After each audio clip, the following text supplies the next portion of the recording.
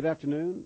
As part of our ongoing uh, briefings prior to launch of Discovery on STS Mission 114, we have uh, another briefing this afternoon. It is, a, it is a shuttle processing overview. And we have with us today John Cowart, who is the manager of the JSC resident office here at the Kennedy Space Center. He'll have a presentation, and then we'll go to some questions after that. John? Bruce, thank you very much. Good afternoon, everybody. What I want to talk to you about today, of course, is shuttle processing. Generically, how do we get all shuttles ready to go fly? It's a very lengthy process and pretty detailed, but I'm going to keep it at a pretty high level for everybody. First of all, welcome. You all know where you are. You're in the land of the right stuff. Uh, this is where we've always launched humans from space, and we'll continue to do it hopefully for a long time.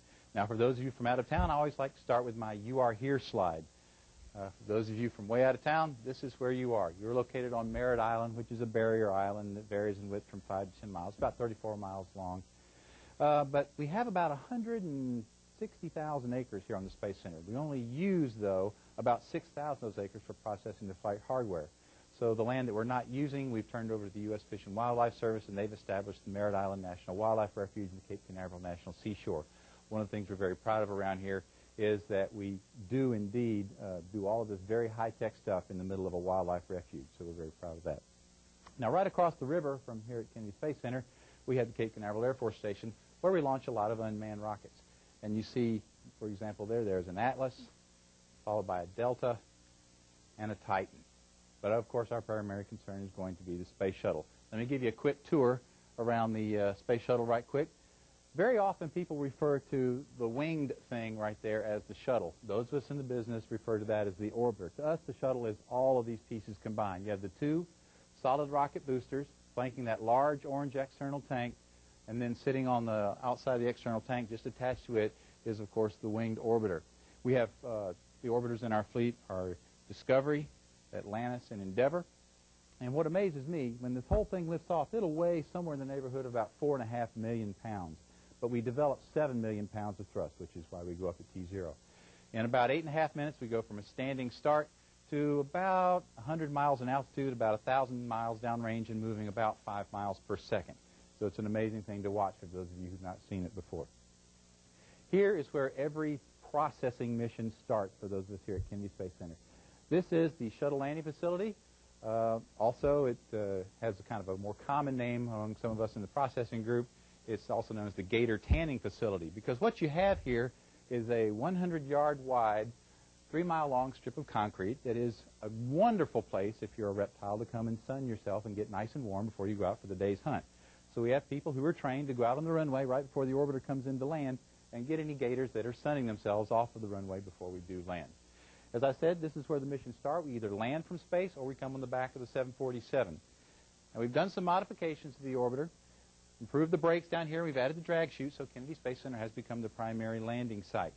We either come from space, I said, or we come on the back of the 747. If we're on the back of the 747, we have to get it off. Now, the way we do that is we take it over to our 11-story high mate-demate device. We pick the orbiter up off the back of the 747, push the 747 out of the way, lower the orbiter down to the ground, and then deploy its landing gear, and then we tow it to one of our three orbiter processing facilities, or OPFs, as we call them around here. Here you see the orbiter about to go into one of those orbiter processing facilities, or OPF bays. These are really nothing more than sophisticated aircraft hangars, and I'll give you a picture inside of one here in a minute. But let me show you just around the outside of the orbiter right quick and give you a couple of things. First of all, here's the nose, or the forward area. This is the crew module. It's where the astronauts are during launch and reentry. Behind that, for 60 feet, is the payload bay, and then behind that is the aft or the engine compartment, which houses all the plumbing you need for the three main engines. Each one of those main engines develops about 375,000 pounds of thrust here on the ground. But also, here in the back and up around the front, there are 44 smaller jets known as Orbital Maneuvering System Reaction Control System jets. Now, what these allow you to do is to point and steer and do altitude adjustment capability once we're up in space. The big three main engines shut down after eight and a half minutes, and they're not used again.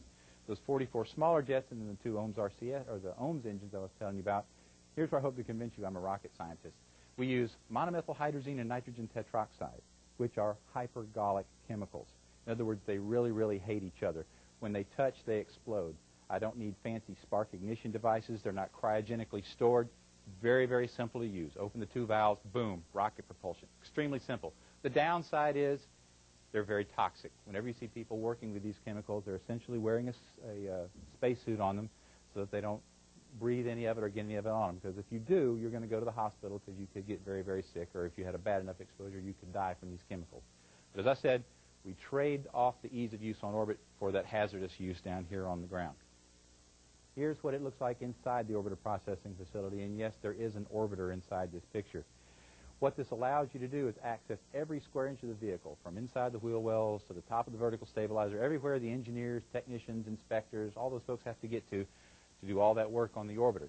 Now, if you look very carefully, right here, you'll see the nose of the orbiter, and then the windows for the crew module would be right there, and then extending back in that direction would be the payload bay. So that's what it looks like inside the OPF. Here is the most labor-intensive thing that we do on the orbit. It's the tile. Now, originally we had about 30,900 unique individual tile on each orbiter. We've reduced that number to only 25,000 through the use of heat-resistant blankets in some of the cooler areas, like along the top of the wings or the sides of the payload bay. These tile here on the bottom have to dissipate or can withstand about 2,000 degrees of heat. Now, the leading edges of the wings and the nose cap of the orbiter are made of another material called reinforced carbon-carbon. Those can take about 3,000 degrees. What happens during reentry is you set up a shock wave right in front of the orbiter, and that shock wave, the temperature that actually touches those tiles is somewhere in the neighborhood of about 2,000 degrees. Now, the skin of the orbiter is made of a very unexotic aluminum. It will begin to stretch and anneal around 350 degrees, which is why those two to four inch thick tile have to dissipate somewhere in the neighborhood of perhaps 1,700 degrees before that heat gets to the skin of the orbiter. Very, very effective at what they do. But each tile takes a long time to apply. They're very, very high-tech things. Here's where you want to get to if you're an astronaut, or even if you're me and you want to be an astronaut. This is the flight deck. Commander will be sitting here. Pilot will sit there. Then two mission specialists will sit behind them up at the flight deck. Now, downstairs is the mid-deck area in the crew module where you can put four more astronauts if you need to. What you see right here are the CRTs for the five computers that we have on board the orbiter. Now, these five computers are running all the time, checking each other, seeing that they all get the same answer. If any one computer gets a different answer than the other four, the other four go to tribal council and that one is voted off the island. What really happens is, yes, if one gets a different answer, he's turned off. It's not an emergency, but it is something we watch. Because if you lose another computer, then our flight rules dictate, dictate rather, that uh, you should probably be coming home sometime soon. The computers that we use on board the orbiter are 80s vintage technology. Now, for those of you who think, why don't you update it? The reason being, it takes millions of dollars and years and years in order to certify computer hardware and software for use in human spaceflight. It's one of the quickest ways to cause a problem in a mission. If you look at the expendable launch vehicle failures that have occurred over the last 10 years, I think you'd find about half of them are caused by computer hardware or software problems. So we're very, very careful. We've only got five years left in this program. We know how these computers work. We understand all their idiosyncrasies. We're going to stick with them. We're going to fly with them. And for those of you who might suggest, well, perhaps Bill Gates could do it faster, better, cheaper, with all due respect to Bill and Microsoft and everything that they have done for the computer industry in this country, at 17,500 miles an hour and with a pure vacuum right outside your door, control alternate delete is not one of our options. Our computers absolutely positively have to work all the time, no exceptions. So that's the flight deck. Here you see the payload bay. Every payload we fly has completely different electrical, mechanical, fluid, and data connections. So after every mission, we strip everything out of the payload bay, put the new stuff in, and we're ready to go fly the new payload. Here you see a space lab with a tunnel coming back, and there you see the orbiter docking system. And there the astronauts would go back in there once we're up in space, and they would start doing their experiments. Ah, the most high-tech part of the shuttle, the main engines. After every mission, we take out all three of the main engines, send them to a special lab we have where we examine them, inspect them, and do any repairs that are necessary based on what we find or anything that's just timed out. It's been on there long enough. These uh, engines are really, as I said, the most high-tech part of the whole space shuttle. Let me tell you a couple things that really impresses me about them. First of all, they operate at the extremes of temperature. The fuel we use is liquid hydrogen. At minus 423 degrees Fahrenheit, that is the second coldest liquid in the universe. When you combine that with liquid oxygen right there in the combustion chamber in the throat, the temperature there can exceed 6,000 degrees Fahrenheit. That's hotter than the boiling point. Not the melting point, but the boiling point of iron. Iron would be a gas at that temperature. So the obvious question is, well, then why doesn't the engine bell melt under that extreme temperature? The bell itself is made of hundreds of tubes welded together. And before the liquid hydrogen is sent into the combustion chamber, we flow it through those tubes and we cool the engine bell down. The other thing that's amazing, and most of you have probably heard this one before, but you look, there's a thing over here about the size of a beer keg called a high-pressure oxidizer turbo pump or a high-pressure fuel turbo pump. We have both of them. If you were to take those pumps and pump water instead of hydrogen and oxygen, you could drain an average-sized swimming pool every 25 seconds when we're going up the hill. Now, we're ready to build up the stack. We're getting the orbiter ready. We've got to have a stack ready for the orbiter to get onto.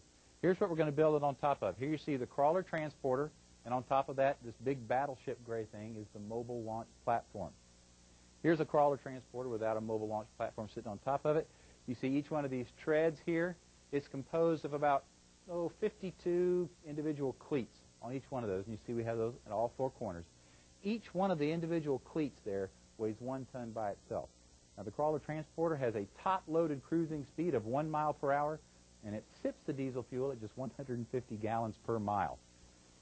Here's where we're going to do the stack buildup. We take the mobile launch platform and the crawler inside the vehicle assembly building. It's the thing which dominates the landscape out here.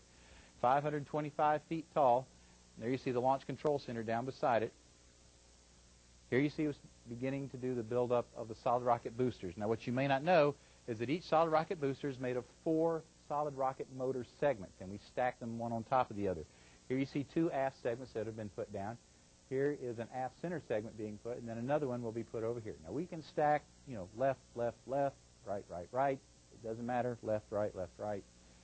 It'll work either way. But there you see it's beginning to do the stack of the solid rocket boosters. Once the boosters are completely stacked up, we're ready for the external tank.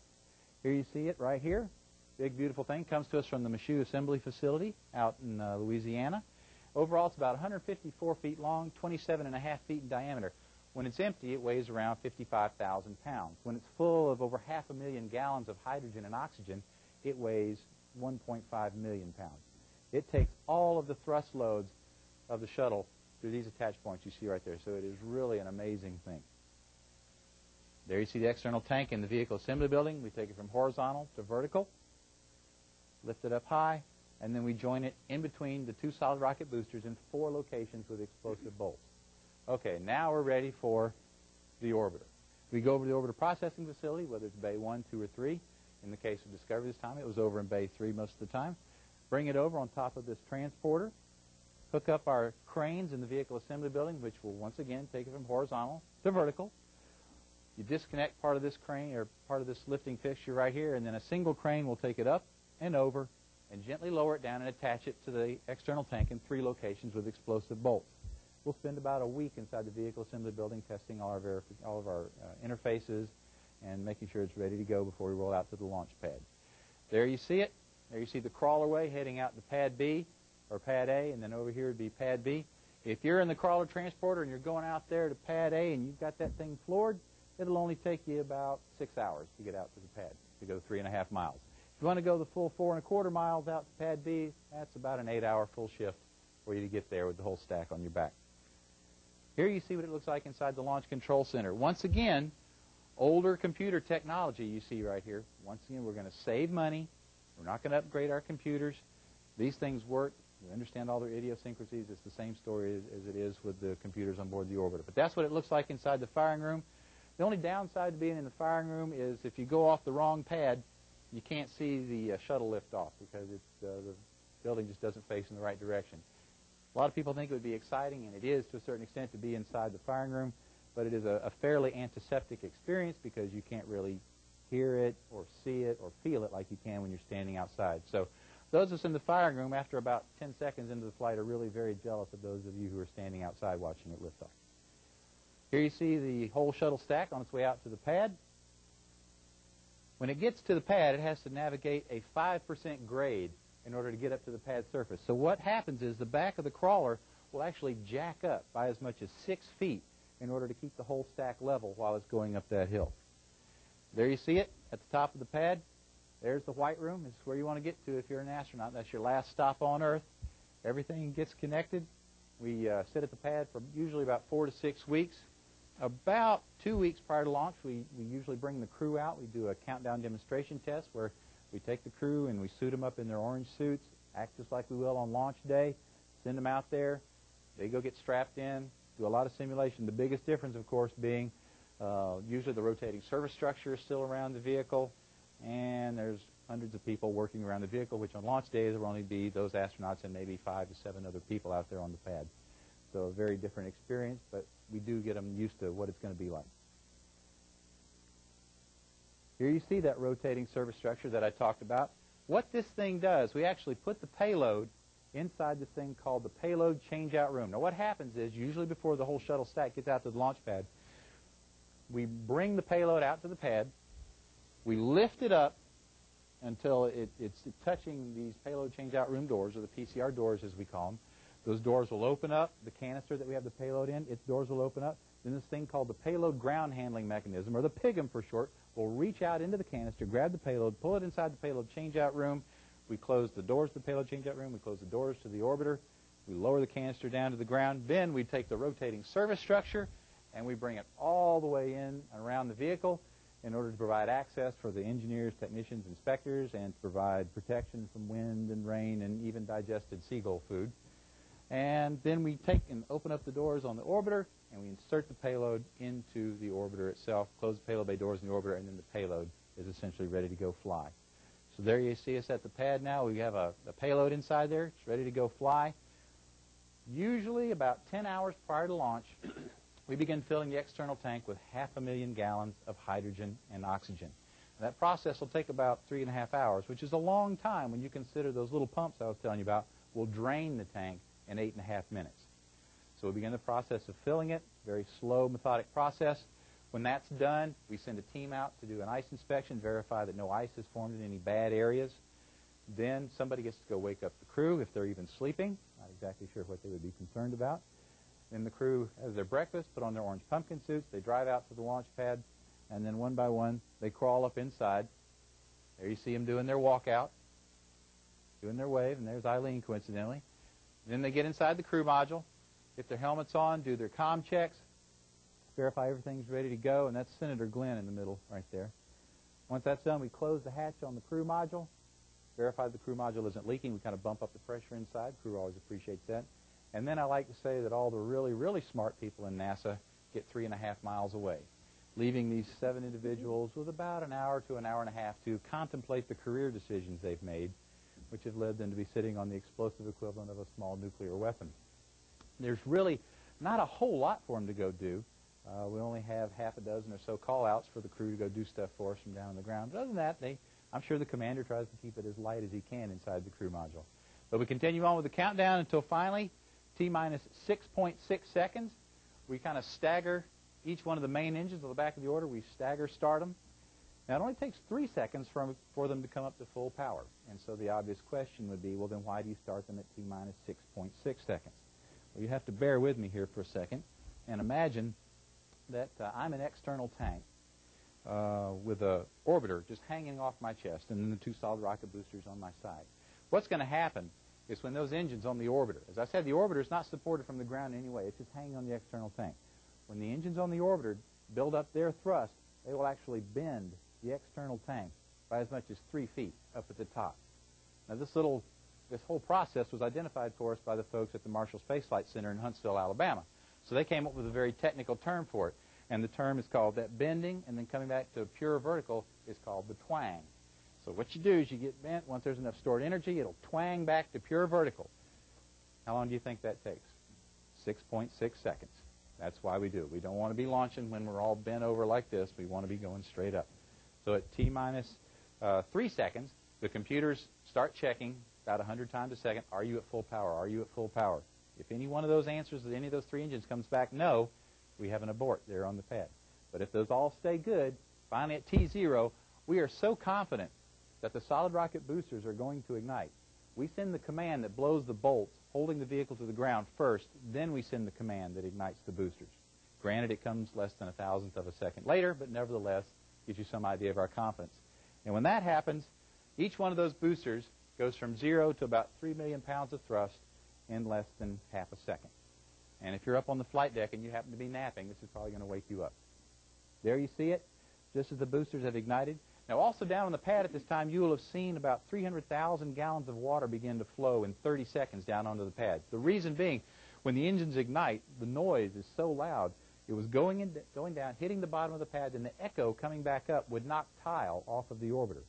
So as I said, at T minus 15 seconds, we begin flowing about 300,000 gallons of water below the pad and then onto the pad surface and help, to help deaden that noise so we don't get any of that echo coming back and knocking tile off. Here's a fairly critical point. When the vehicle, when the engines get to about this point, we turn over control from Kennedy Space Center to Johnson Space Center in Houston, Texas. Now, for those of you who have, may not have seen it before, I have a, a real quick 30-second clip of what it looks like inside the crew module when you go for engine start in that initial ascent. Y'all could roll that for me right quick. Throttling. There we go.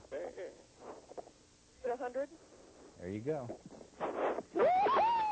Two and auto. 38104. There's eight seconds. Roll command. Roll program, Houston. I see it? Roger, roll discovery. LVLH. On the right.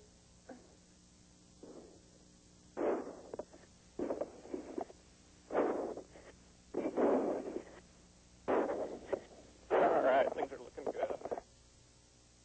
There you go.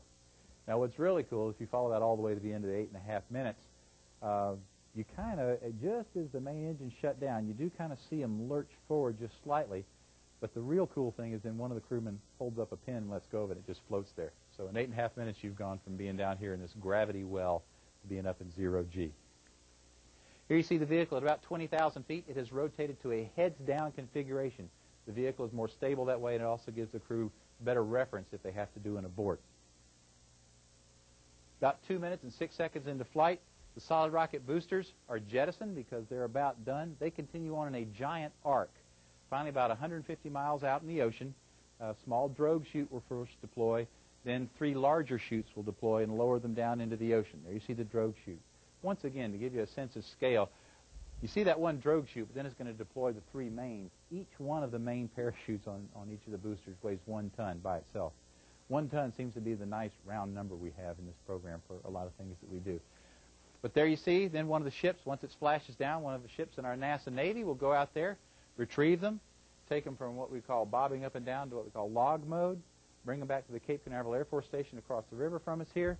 They will take them apart, clean them, inspect them, ship them back to Utah. Our friends at Thiokol will refill them with solid propellant. They'll ship them back to us, and we will reuse the solid rocket boosters. Now, you may remember we last left our seven heroes still going upstairs when the boosters separated. Well, here you see it at the end of that eight and a half minutes. The tank is essentially empty. It is jettisoned. The tank will then float away, as you see it does right there. It doesn't have quite enough speed to stay in orbit. So usually somewhere over the Indian Ocean or the South Pacific, it will re-enter, and most of it will burn up. The orbiter, on the other hand, about 30 minutes into the mission, will fire its orbital maneuvering system engine. Remember those, those special hypergolic engines that I spoke of? It will fire those again, or for the first time, in order to give it that tiny little extra burst of speed that it needs to stay up in orbit, whereas the uh, external tank will re-enter. Then the first thing they do once on orbit is open up the payload bay doors. Those are giant freon-filled radiators. We have hundreds of electronics boxes. Seven heavy-breathing astronauts just been through the ride of their lives, and we need to cool them down, and that's what the radiators do for us. Then they get to start doing all that really cool astronaut stuff that they do on orbit, and I'll leave most of that to my friends over at the Johnson Space Center in Houston, Texas. They're the ones who are responsible for all that on-orbit stuff. Get to do a lot of cool things. We can deploy satellites. One of the neatest ways to do it is to take the robot arm. You can capture a satellite like the Hubble, or you can deploy a satellite. Robot arm, what it would do is just be to grab the payload, whatever it is, hold it up above the shuttle, release it, and then the orbiter just backs away, leaving it in whatever orbit it was in. This is probably the most fun. I would I'd call this getting to go outside and play. You put on your own personal spaceship, and you go outside, and right there, 250 miles below you, is your home planet going by at five miles per second. I, I can't imagine anything that would be more exciting being able to do that. One of the interesting things on the International Space Station, the way the airlock is arranged, when you open up the hatch to the airlock, it faces straight down. So one of the astronauts, the first one out, when he opens it up, all he can see is the Earth below him. So if you have a fear of heights, you're not invited to apply to be an astronaut, I can assure you. Here's, of course, what dominates the manifest for the rest of the shuttle's life. Now, usually somewhere over the Indian Ocean, Australia, basically on the other side of the Earth, we turn the orbiter around, fire those orbital maneuvering system engines again for the last time. They will not be used again to slow us down just enough so that we begin the reentry process. Usually somewhere west of California, they begin to feel the effects of the Earth's gravity, and not the gravity, but the, the heating that comes from the entry interface at around 400,000 feet. And then they come into Kennedy Space Center. They land on their mark every single time, not just because they're great pilots to start with, but because we also train them in a special aircraft we have uh, that simulates how the shuttle flies or how the orbiter flies. They roll out, and we start that process all over again. In a normal year, normal mission processing times, it takes us somewhere in the neighborhood of about six months to get the orbiter and the whole shuttle stack ready to go fly. And there you have it. That's how we get shuttles ready to fly here at Kennedy Space Center. So, Bruce, I'll give it back to you. All right, thanks. Well, uh, we're going to open it up for some questions. John makes it over here and takes a seat. Uh, so we've got a microphone. Wait for the mic, please. Give us your name and affiliation. And so, any questions? Okay, Mike, right here. Hi, uh, Mike Schneider, Associated Press. I was wondering, given that you hadn't done this in more than two years, the whole processing, um, was there any element of being a little rusty in uh, any, say, lost information, or was it pretty much uh, as easy as if you had been doing this four or five times a year in the past two years? I wouldn't say that uh, there was any lost information. Just, yeah, I wouldn't say there was any lost information. I would uh, say that yeah, anytime you've waited two, two and a half years to go do something you used to do three or four times a year, there's going to be some element of let's see now, did I do it this way? Our procedures try to take that into account, and, and the way we process the, the procedures are very, very detailed. Uh, of course, you do have some experience factor as you would in any job. So I would say that uh, no, we weren't too rusty. There were probably a couple of occasions where we consulted with each other and said, "Is this the way we did it before?" But uh, we took the time and did it right. All right, up here. Let's wait for the microphone, please. All right. Randy Avera, Randolph Publishing. John, as we look around Kennedy Space Center today, we see the VAB vehicle assembly building with repairs from hurricane damage. Do you know of, or could you elaborate or tell us anything you may know of about NASA's plans to improve the facilities here on Merritt Island and right out on the on the launch pads at Kennedy Space Center for not only the remainder of the shuttle program, but also the future possibilities of commercial space operations here at the Kennedy Space Center? Well, let's see. I can I can address the the shuttle piece of it. I don't know what would happen over on the expendable launch side, but as far as uh, with us on the shuttle, I know we have a lot of money dedicated every year to maintenance of our facilities. Uh, there are a few upgrades we're doing, uh, trying to to make sure that we stay as current as we can. But we have to keep an eye on the fact that yes, this program is going to come to an end. We want to be wise stewards of the taxpayers' money. So we don't want to do anything we don't have to do in order to get this program to the uh, the end of its mission. Now, with that said, we know there's going to be a follow-on mission. We're not going to let anything just dwell to the point where we know on the, the launch day of the last mission that is the end of life of that piece of hardware. We want to make sure that we are, are well set uh, to proceed on into the next program, however that wants to be done. There are a lot of ideas about how you go do that, whether you use a shuttle-derived vehicle or you just use expendables. We're not 100% certain what we're going to go do. So what we're trying to do is make sure we are positioned with, with good facilities even at the end of the program. We have to be just as safe on the last mission as we are on the first. Make sure we're positioned in order to, to stay current and go on with whatever the next program might be. So are you saying that you're, you're not aware if NASA has a dedicated program to address the hardening of the critical facilities for future space vehicle processing? I'm not involved at that level, Randy, so I got to say I don't know for sure. But I, as, I, as I said, I know we are making sure we're good for the remainder of this program and the start of the next one. Okay. Any other questions? All right. Stick it over there by the door, please. Richard Sisk, New York Daily News. Has anything changed since Columbia in this drill you just went through about a typical uh, shuttle launch? And if anything has changed, has that been brought about by um, much has been said about the culture at NASA and the can-do attitude at NASA that perhaps contributed to the Columbia tragedy? I would say our, our procedures, Richard, are uh, even more detailed now. We do more things. Uh, we're doing more detailed inspections with better equipment on our wing leading edge and, the, and uh, as well as the uh, the nose cap on the orbiter. Um, as far as the, the atti- attitude is concerned, uh, everybody, um, you, you know Columbia obviously hit us like a, a punch in the gut, so everybody is very dedicated to doing it right. We have reviewed all of our procedures. Uh, we have added a lot of steps to the procedures, added new inspections that have to, to be done. Uh, there is some new processing to do with the orbiter boom sensor. Uh, there has been some instrumentation added to the orbiter. So with all that, yes, there's been a lot of added work, and, uh, and we're taking our time about doing it like we always do. Okay. Guy Gugliotta from the Washington Post. Uh, John, could you describe uh, what kinds of effects weather has on a launch and uh, what sort of discriminates between go and no go as far as weather goes?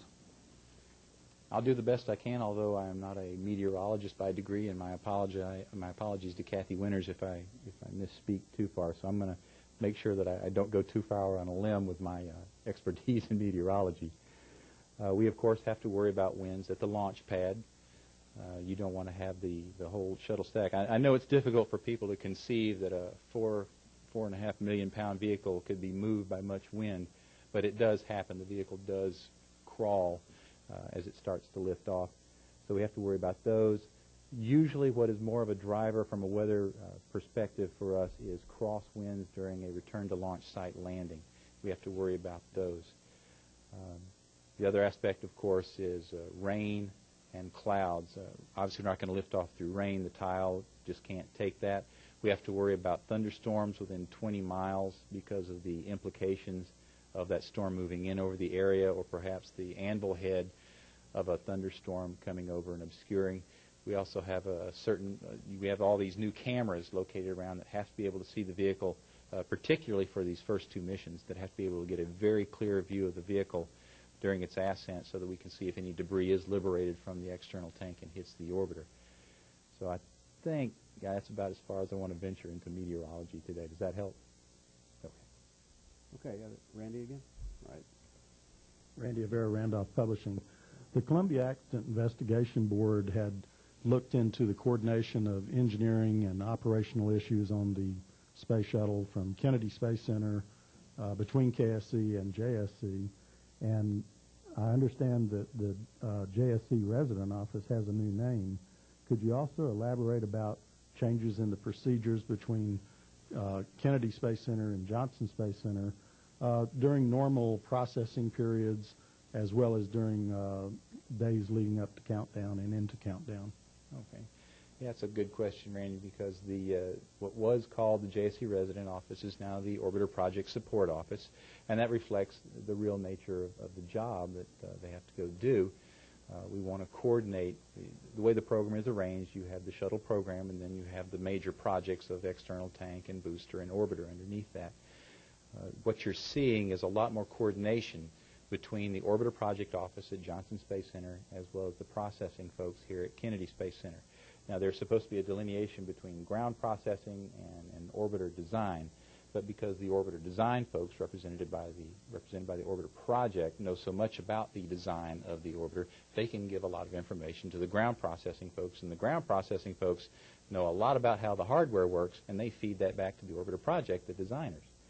So the orbiter project support office, uh, after the Columbia accident, has been increased by 100 percent. So there are a lot more people now doing that liaison work. Not to mention there are more, just plain old more meetings and telecons that go on between Johnson Space Center and, uh, and the Kennedy Space Center. So I would say there's been a significant increase in the coordination that has to be done. In the organizational chart, where does the, the new um, uh, U, what is it, OPSU, where does it fall into the new org chart? Is it where it used to be, or is it at a different level where it has a, a definite streamline energy to get the job done correctly?